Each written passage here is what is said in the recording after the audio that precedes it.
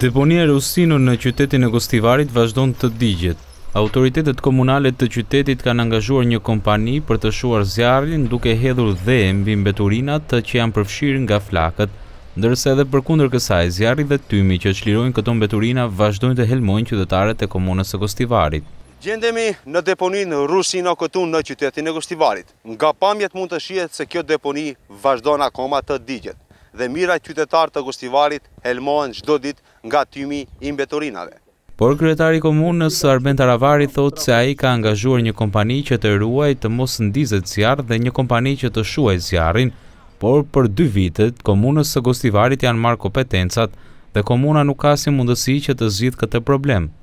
Rusinoja është deponi e egër, e cila praktikisht paraqet një katastrofë ekologjike, e cila kështu funksionon prafërsisht 20 vjet dhe tash gati se 2 vjet kompetencat për deponin Rusino nuk i ka qeverisja lokale në Gostivar.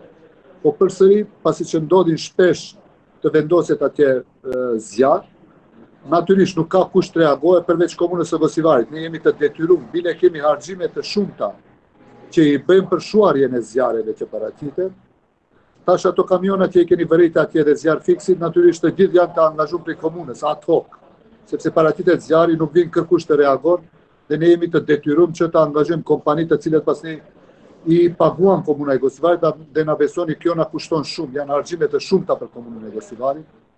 Unë kam shpresuar që qeveria të gjenë një zgjidhje, pasi që i mori të gjitha deponitë rajonale, jo vetëm Rusinon, të gjitha të tjerat. Taravari thotë se javën që vjen do të ketë një debat të hapur, ku do të ftojë edhe nga Ministria e Ekologjisë për të gjetur një zgjidhje.